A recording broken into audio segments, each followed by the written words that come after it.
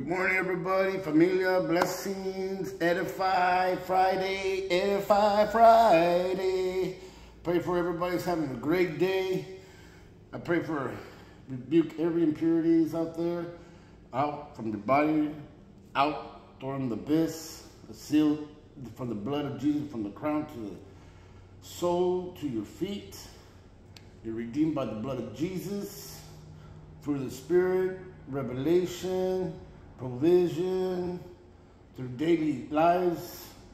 In Jesus' name I pray. Amen. Familia, Jesus loves you. I love you. Hallelujah. Amen. Okay, everybody. I'm going to read uh, today Jeremiah 11. Jeremiah 11. And it goes, the word that came to Jeremiah from the Lord saying, Hear ye the words of this covenant and speak unto the men of Judah and to the inhabitants of Jerusalem, and they and say though unto them, Thus said the Lord God of Israel, Cursed be the man that obey not the words of this covenant, which I command your fathers in the day that I brought them forth out of the land of Egypt, from the iron furnace, saying, Obey my voice and do them according to all which I command you.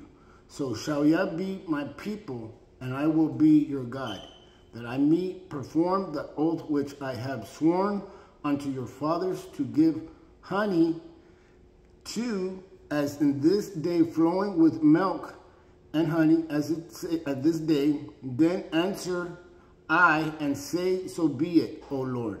Then the Lord said unto me, Proclaim all these words in the city of Judah, in the streets of Jerusalem. All of everybody. Hallelujah. Praise God. Saying, Hear ye the words of the covenant and do them. For I earnestly protest unto your fathers in the day that I brought them up out of the land of Egypt, even unto this day, rising early and protesting, saying, Obey my voice, yet they obey not.